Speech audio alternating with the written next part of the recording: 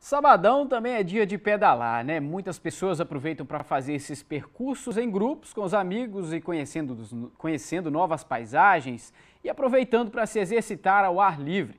A nossa repórter Nash Castro aceitou o desafio, acordou bem cedo e foi para um pedal. Agora a gente vai ver como é que ela se saiu. Veja aí.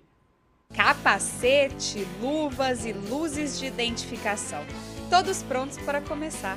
Eu vou acompanhar uma turma que ama ciclismo, que ama o pedal a longas distâncias. Vem com a gente. Aqui não tem idade, sexo ou cor que defina ninguém.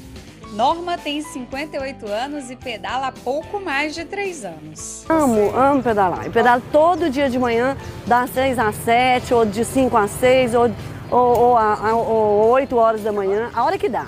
Já Felipe pedala há pouco mais de seis meses, mas parece ter nascido para o esporte. Eu vejo que é, o ciclismo e se está em contato com a bicicleta te desafia a todo momento. No início há pouca iluminação e as lanternas são usadas como faróis para ajudar a visualizar o percurso até o dia amanhecer. A gente já está mais ou menos na metade da aventura e é nessa placa aqui que a gente para para tirar uma foto e registrar o caminho que a gente vai seguir. E a pedalada continua. E depois de 30 quilômetros, hora da pausa e daquele lanchinho para repor as energias.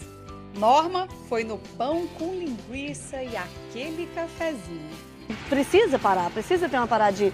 E também não precisa ser muito acelerado, não. O negócio é você andar no seu ritmo. É legal, é assim. Ah, mas Juliana não quis nem saber de parar. O pique dos seus 18 anos queria mesmo era continuar ainda mais. É paixão, realmente é paixão. Eu sempre gostei, eu comecei com os meus 15 anos a dar umas voltinhas, ida e vinda. Meus pais também, eles são ciclistas já há bastante tempo, fazem viagens. E eu comecei a observar e querer acompanhar. A parada foi feita, as energias foram repostas e agora é voltar todo o percurso.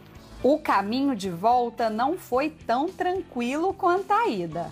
O céu nublado e a temperatura mais baixa ajudaram, mas teve uma subida. Como ciclistas desta turma mesmo disseram, é nela que as crianças são separadas dos adultos. E foi puxada, mas todos nós conseguimos completar.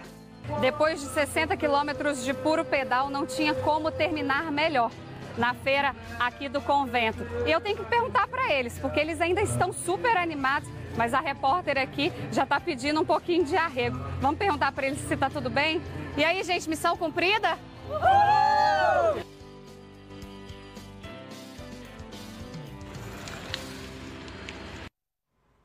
Parabéns aí para a Nest, né? Conseguiu concluir o percurso. Pedal não é brincadeira, não.